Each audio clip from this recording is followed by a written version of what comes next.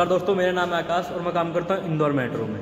तो आप मेरे पीछे पैनल्स देख रहे हैं। आज मैं आपको इनकी फंक्शनिंग और मेंटेनेंस के बारे में समझाने वाला हूँ कि हमें मेंटेनेंस करने से पहले या कोई भी ऑपरेशन करने से पहले क्या क्या सावधानी बरतनी पड़ती हैं। आप मेरे मेरे पीछे देख सकते हो, बहुत सारे पैनल हैं।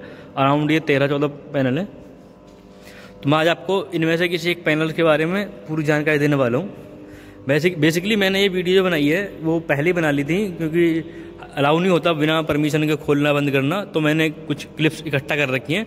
आज मैं आपको उन्हीं क्लिप्स का वॉइस ओवर करके कुछ जानकारी दूँगा। अगर जानकारी अच्छी लगे तो चैनल को सब्सक्राइब कर लेना और अपने दोस्तों के पास शेयर कर देना। तो आप देख सकते हो, अभी मैं हूँ टैक्सन सर्विस स्टेशन में, जिसे हम टी भी बोल देते हैं। तो आप मेरे सामने देख पा रहे हैं, ये पूरा पैनल है, जिसमें कि दो चैम्बर होते हैं, एक ऑपरेशन चैम्बर और नीचे वाला होता है वैक्यूम चैम्बर ऑपरेशन चैम्बर में क्या होता है, हमारी रिलेज होती हैं और प्लस कोई प्रोडक्शन डिवाइसेज लगी होती हैं, बाकी स्विच लगे होते हैं, जैसे कि आप देख सकते हो, ये लोकल रिमोट स्विच है, ये टीएनसी स्विच है, ये हमारा फ़ेज़ का वोल्टेज लेने के लिए स्विच है, ये वोल्ट मीटर है, ये एम्पियर मीटर है, ये लाइव लाइन इंडिकेटर है और ये ट्रिप सुपरविजन रिले है। ये मास्टर ट्रिप रिले होती है, ये न्यूमेरिकल प्रोडक्शन रिले होती है और ये होती है डिफरेंशियल रिले जिसे हम केवल डिफरेंशियल रिले या सी भी बोल देते हैं। जो अपनी एम टी आ रही है क्या करती है, ये इन सब जो रिले होती हैं, उनसे सेंस होती है और सेंस होने के बाद हमें प्रोडक्शन देती है। बाकी आप देख सकते हैं एमरजेंसी ट्रिप बटन है, जो इलेक्ट्रिकल के लिए ये eighty six relay reset button है, जिसको हमारा मास्टर रिले जब एक्टिवेट होती है वाइट फ्लैग है, लेकिन जब ये एक्टिवेट होती है तो रेड फ्लैग आ जाता है। इसका मतलब कि हमारा कोई प्रोडक्शन हुआ है रिले ने कोई प्रोडक्शन दिया है, जिसकी वजह से उसमें रेड फ्लैग आता है। नीचे देख पा रहे हैं आप, ये वैक्यूम चैम्बर है। वैक्यूम चैम्बर में हमारे मेन कंपोनेंट्स लगे होते हैं, जिनसे हम स्विचिंग करते हैं। बाकी इसमें भी बटन लगे तो लगे होते हैं ट्रिप क्लोज करने के लिए। इसमें क्या होता है, एक मोटर होती है, जिसमें कि स्प्रिंग लगी होती है। स्प्रिंग की मदद से हम उसे चार्ज करते हैं स्प्रिंग को, जिससे कि वो कॉन्ट्रैक्टर चिपक जाते हैं जैसे डिस्चार्ज करते हैं स्प्रिंग को तो कॉन्ट्रैक्टर हट जाते हैं। ये ट्रिपिंग होती है। बाकी हम कोई भी ऑपरेशन करने से पहले हमें बहुत सारी बातों को ध्यान रखना होता है। या कोई भी मेंटेनेंस काम करना होता है पैनल्स में, किसी भी पैनल में तो बहुत सारी बातों को ध्यान रखना होता। है उसके बारे में मैं आपको बताने वाला हूँ आज। मेनली किसी भी ऑपरेशन चैम्बर में दो बटन दिए होते हैं, एक लोकल रिमोट का स्विच और एक ट्रिप न्यूट्रल स्विच जिसे टी स्विच भी बोल देते हैं। तो क्या करते हैं, जब हम ट्रिप करते हैं तो हमारा पैनल डिस्चार्ज हो जाता है। जब हम क्लोज करते हैं तो पैनल चार्ज हो जाता है। तो जो न्यूट्रल स्विच होता है, ये न्यूट्रल हमेशा बीच में आके खुद से रुक जाता है। हम ट्रिप करें तो भी न्यूट्रल पर आकर रुकेगा क्लोज करते हैं तो भी न्यूट्रल पर मतलब कि यहाँ कोई ऑपरेशन नहीं हो रहा है। बाकी लोकल में तब करते हैं जब हम मैनुअली ऑपरेशन करना होता है, और रिमोट में तब डालते हैं जब हमें स्काडा या कंप्यूटर से कोई ऑपरेशन करना होता है, या हमें कोई भी ऑपरेशन नहीं करना है, और हमें, जब हमें कोई ऑपरेशन नहीं करना होता है तो हम इसे रिमोट में डाल देते हैं। और रिमोट में डालने के बाद जो इसकी की है, इसे लॉकआउट बोलते हैं। की को बाहर निकाल लेते हैं जिससे कि लॉकआउट हो जाता है। लॉकआउट होने का मतलब है कि जब तक इसमें की नहीं लगेगी, तब तक ये फिर से चालू नहीं होगा। जिससे कि एक अलग ही प्रोडक्शन होता है। ये अच्छी, काफ़ी अच्छी बात है। ताकि जो भी मेंटेनेंस हो रहा है, किसी वजह से चालू नहीं कर पाए कोई भी। ताकि अगर रेटिंग वगैरह की बात करें तो मैं अभी आपको, बाकी सीरियल नंबर है कंपनी की पॉलिसी होती है कोई सीरियल नंबर दिखाना होता है इससे छुपा देता हूँ। अगर देख सकते हो सीटी का प्राइमरी करंट एक हज़ार एम्पियर बस बार का प्राइमरी करंट बसवार का जो करंट है, वो बारह सौ पचास एम्पियर है। तो फ्रिक्वेंसी है वो पचास हर्ट्ज की है। हमारा क्योंकि इंडिया में पचास हर्ट्ज की फ्रिक्वेंसी होती है हमारी। वैसे तैंतीस के बी के पैनल्स है सारे के सारे। इनमें जो हम इनकमिंग सप्लाई दे रहे हैं इनपुट सप्लाई वो तैंतीस के बी है। और जो हमारा जितना भी ऑपरेशन हो रहा है ऊपर, जितने भी रिले रिले वगैरह या कोई भी स्विच है, जो ऑपरेशन हो रहा है 110 वोल्ट डीसी पर हो रहा है। यानी हम जो ऊपर जो ऊपर बोल रहे हैं, उसे ऑपरेशन वोल्टेज ऑपरेशन बोल देंगे कि ऑपरेशनल कितना है? 110 वोल्टेज है। और जो इनपुट है, वो 100 सॉरी तैंतीस के बी है। आई होप आप ऑपरेशन के बारे में समझ ही होंगे कि हम ऑपरेशन करने से करते हैं तो कैसे करते हैं। अब मैं आपको बताता हूँ ऑपरेशन करने से पहले क्या क्या सावधानी बरतनी होती है। जब भी हम कोई ऑपरेशन करेंगे तो सबसे पहले हम अपना अर्थ स्विच चेक करते हैं, जो कि हम यहाँ से भी चेक कर सकते हैं कि ऑन है ऑफ़ है। आप मेरे सामने देख रहे हो, लिखा हुआ ये अर्थ स्विच चेक करने के लिए, बाकी हम यहाँ से भी देख सकते हैं। अर्थ स्विच में दो लाइट होती हैं, एक रेड और एक ग्रीन जो अगर ग्रीन जल रही है तो इसका मतलब हमारा अर्थ स्विच नहीं लगा है। अगर रेड है तो अर्थ स्विच लगा हुआ है। मैं आपको बताता हूँ कि जब हम कोई भी ऑपरेशन करेंगे तो उसके, उससे पहले हम क्या किन किन बातों को ध्यान रखेंगे? सबसे पहली बात तो ये होती है कि हमें अपने कोई भी सीनियर है या हमारा जो मेनली जो हमारे यहाँ पर है इन दोनों में पी रूम है। हम पीसीसी रूम से परमिशन मिलती है हमें कि ये ऑपरेशन करना है। उसके बाद ही हम ऑपरेशन करते हैं या हम अगर आपके यहाँ पी रूम है, ठीक है, वरना आप किसी भी सीनियर से ले सकते हैं परमिशन। मेनली सीनियर से ही परमिशन आती है कि ये ऑपरेशन करना है। तभी हम कोई ऑपरेशन करते हैं, ट्रिप करना है, क्लोज करना है, कुछ भी करना है। उसके बाद सीनियर से जैसे परमिशन मिलेगी, उसके बाद हम सबसे पहले अपना अर्थ स्विच चेक करेंगे। अर्थ स्विच ऑन है, नहीं है।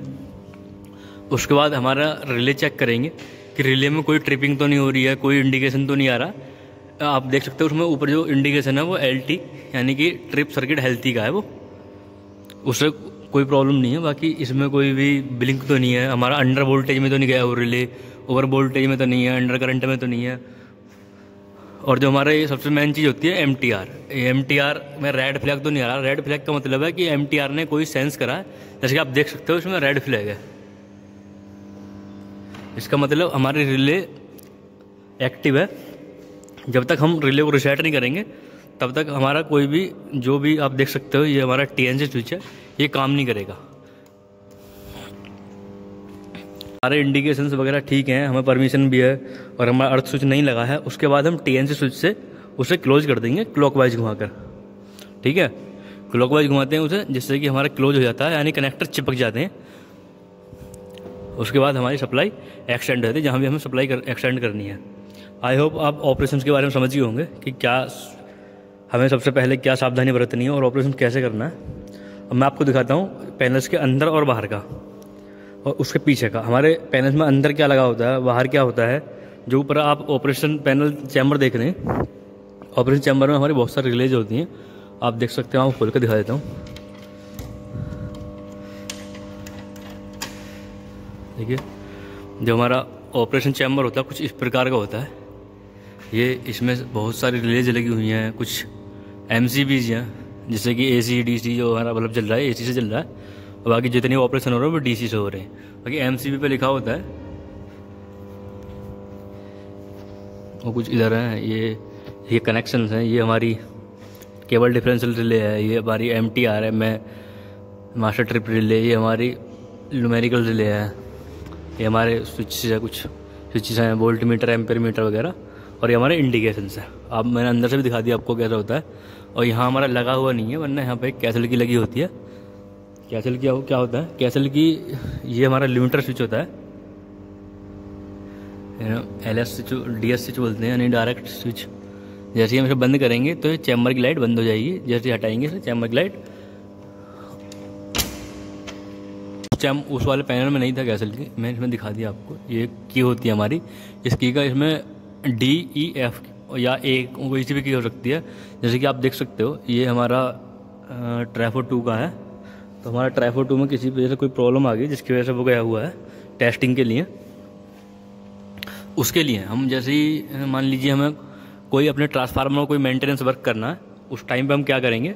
सबसे पहले हम अपना पैनल लगाएँगे, पैनल से की निकालेंगे और यहाँ से की निकालने के बाद मेनली होता क्या, जैसे कि इसमें तीन की दी हुई है। जो डी की है, वो हमारी एलटी पैनल जो उधर लगा हुआ है, उस, उससे निकल के आएगी और इसमें लग जाएगी। जिसे हम ऐसे ही इसे खोलेंगे पहले, उसके बाद हमारी ई वाली की निकलेगी। जो ई वाली की है, वो हमारे ट्रैफो में जाके लग जाएगी। मैं आपको दिखाता हूँ अभी दूसरे ट्रैफो का कि उसमें कैसे लगती है। लेकिन मान लीजिए हमें इस ट्रैफो का करना है मेंटेनेंस तो उस, वहाँ से हम की लाएँगे और इसमें लगा देंगे। जिससे कि हम इसके डोर को खोल पाते हैं। इसके डोर के जस्ट पीछे लिमिटर स्विच लगा होता है। जैसे ही हम लिमिटर स्विच को खोलते हैं तो हमारा खुद से ट्रिप हो जाता है ट्रैफो। ट्रैफो हम ट्रांसफार्मर के लिए बोल रहे हैं। आप देख सकते हैं एटी ट्रांसफार्मर यानी ऑक्जिलरी ट्रांसफार्मर। अगर आपको किसी भी ट्रांसफार्मर रेक्टिफाइड ट्रांसफार्मर या एटी ऑक्जिलरी ट्रांसफार्मर के बारे में कुछ जानकारी चाहिए तो मेरे को आप कमेंट करके बता देना। मैं आपको उसके बारे में भी एक सेपरेट वीडियो बना के बता दूँगा। मैं इसलिए नहीं बता पा रहा हूँ आपको क्योंकि बहुत लंबी वीडियो हो जाएगी, मैं ज़्यादा लंबी वीडियो करना नहीं चाहता। मैंने बात बताने में आपको भूल ही गया था। हम रैगिंग करने के लिए क्लॉक वाइज घुमाते हैं और रैक आउट करने के लिए एंटी क्लॉक वाइज घुमाते हैं। ये जब भी हम कोई ऑपरेशन करते हैं, उससे पहले देखना चेक चेक करना होता है हमें कि हमारा पैनल रैक इन है या नहीं। क्योंकि हम जब भी कोई ऑपरेशन करेंगे, उस कंडीशन में हमारा पैनल रैक इन ही होना चाहिए। अगर वीडियो आपको अच्छी लगे तो वीडियो शेयर कर देना। मैं आपको दिखाने वाला हूँ कि अंदर से कैसा कैसा होता है। मैंने आपको ऑपरेशन चैम्बर दिखा दिया। हम आपको वैक्यूम चैम्बर दिखाने वाला हूँ। अंदर नीचे से कि अंदर से क्या होता है वैक्यूम चैम्बर में, कैसे कैसे होता है। और उसके जस्ट पीछे मेरे आप देख सकते हो कि कुछ इस तरीके से कवर्ड होता है, पूरी तरीके से। ये देख सकते हो आप, खतरा। तैतीस हज़ार वोल्ट तो कवर कर रहे हो क्योंकि ज़्यादा अधिक मात्रा में सप्लाई है हमारी। जिससे कि किसी चीज़ को कोई भी हानि ना हो। तो मैं आपको दिखाने वाला हूँ कि अंदर से कैसा होता है। मैंने वीडियो पहले बना रखी है। यानी कोई मेंटेनेंस वर्क होता है, उस टाइम पे वीडियो कलेक्ट कर रखी है।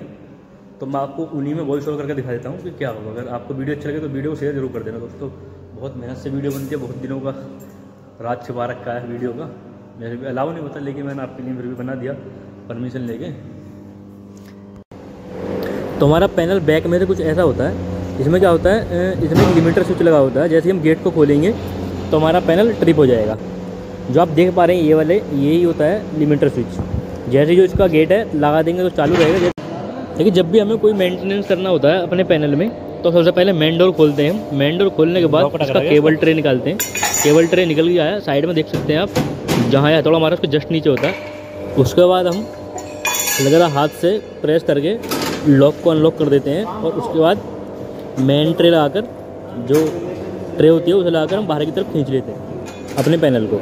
ये जो होता है हमारा पीटी होता है तो आप देख सकते हो पीटी कुछ इस तरीके का होता है, जैसे कि हम बाहर निकाल लेते हैं। बाहर निकालने के बाद हम अपना मेंटेनेंस वर्क कर सकते हैं, चाहे पीटी का हो या अंदर कुछ पैनल में हो। तो पीटी में आप देख सकते हो कुछ इस तरीके के स्क्रीन लगी होती हैं, जो कि कनेक्टर होते हैं। जैसे हम जैसे हम कोई ऑपरेशन करते हैं तो कनेक्टर चिपक जाते हैं और ट्रिप करते हैं तो ये कनेक्टर हट जाते हैं। बेसिकली एक स्प्रिंग की सहायता से होता है, जो मैंने आपको बता दिया है। और हमारा पीटी निकालने के बाद हम इसमें थोड़ा मेंटेनेंस वर्क करेंगे। तो आपको दिखाते हैं मेंटेनेंस वर्क क्या होता है और अंदर पैनल में क्या क्या लगा होता है।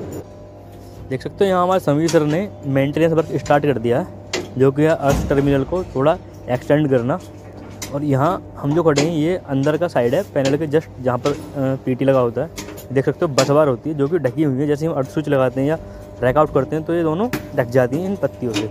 क्योंकि इनके अंदर ही मेन करंट होता है। जैसे ही हमारा मेंटेनेंस वर्क खत्म होता है अब बारी आती है इस पीटी को अंदर करने तो हम पीटी को अंदर करने के लिए सेम टेक्निक अपनाते हैं। बस पीटी को रखते हैं ट्रे पर और अंदर की तरफ़ पुश कर देते हैं। थोड़ा ज़ोर लगाना पड़ता है जैसे कि पुश होती है ये अंदर जाके लॉक हो जाती है खुद से। तो ये हमारे एलटी पैनल से जो मैं दिखा रहा था कि यहाँ से हमारी जो की होती है हम इसके अंदर से की निकालते हैं।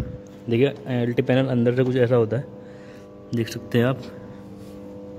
हम यहाँ से की निकालते हैं, उसके बाद हम उधर लगाते हैं, अपने पैनल में।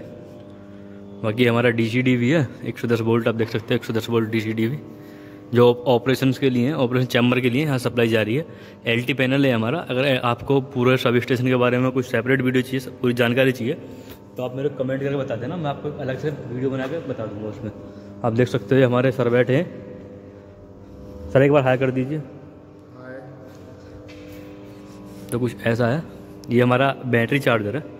अगर आपको किसी भी चीज़ के बारे में कोई भी डाउट हो तो आप मेरे को कमेंट कर देना। मैं आपको अलग से समझा दूँगा या अलग से कोई video separate video short video बना के उसमें आपको समझाने की कोशिश करूँगा।